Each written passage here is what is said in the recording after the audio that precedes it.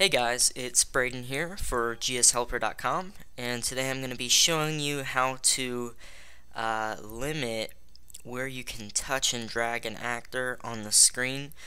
Uh, I'm going to use uh, this demo um, where you can actually pick up an object and move it all around and you can actually throw it um, and you can you can do that. So I'm going to be using this um, and I saw some people asking on the forums how you could do this, so I thought I'd just go ahead and make a quick video. So uh, it's really easy, and I'll just kind of show you how to do this. Um, if you if you don't know how to create a throwing object uh, in GameSalad, you can go to YouTube, and I believe there is already a tutorial on how to do this on um, the GameSalad Cookbook channel. Uh, so if you just search up how to throw an ob object in GameSalad, uh, I'm pretty sure it'll come up.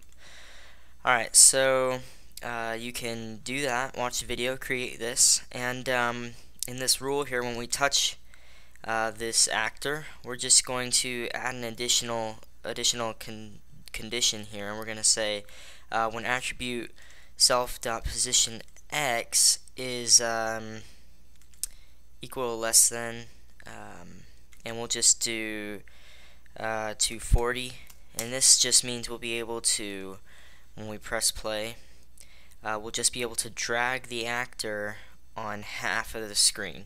So you'll see okay we can uh, we can do this we're dragging it.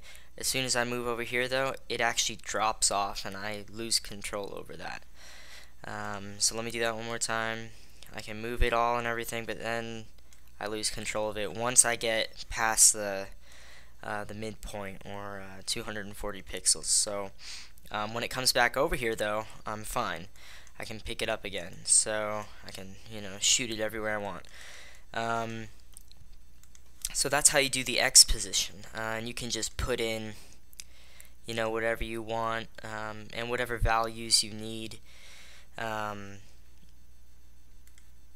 now let's do Y. We're just going to change this to self position y uh, equal or less than uh, let's do 160 okay. And then for y we're just gonna go ahead and create an attribute a boolean attribute. I called it used. And um, uh, you can do this for x too but I just kinda wanted to show you what it does. Um, remember when I I have control here but as soon as um, as I go past the midpoint I lose control. When it comes back over here I can grab it again. But if you didn't want to do that um, you can go ahead and create a boolean and I just called it used like I said. And uh, I'll just say uh, when uh, self position uh, let's do it for x again is uh, equal or greater than uh, 240 we are going to change attribute uh, self used to true. Alright? And in, the, in our first rule, we need to add another condition. Um, I changed that to y, but let's change it back to x really quick. Uh, and then 240. And then we added, we need to hit the plus sign here. And we just need to say when self used is false. Alright? I'll go ahead and press play. Now what this does is you're able to drag it, but as soon as you go over, and even if it comes back, you won't be able to pick it up again because it changed that boolean to true.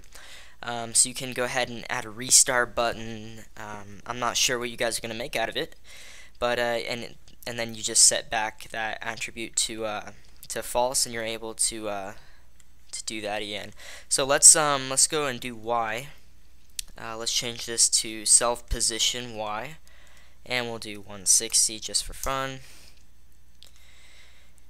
And um, we'll change this to self position Y uh, 160 and um,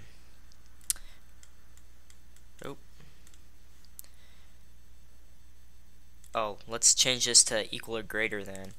Um, or else um, I was doing it equal or less than so it was already in this area so it wasn't allowing me to pick it up.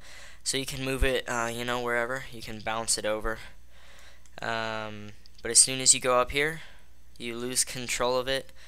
Um, and it will actually you know um, keep the speed that you were going um, but you, you're not able to pick it up again. So like I said you can add a reset button in here that resets that attribute to false. Um, and so yeah, that's about it guys. I just kind of wanted to uh, do a video tutorial on it as I saw some people asking um, how they would do this on the forums. So I hope it helps. Uh, I'm going to be making uh, this available over at gshelper.com for you guys to download. And um, I hope you enjoyed it, and we'll see you in the next video.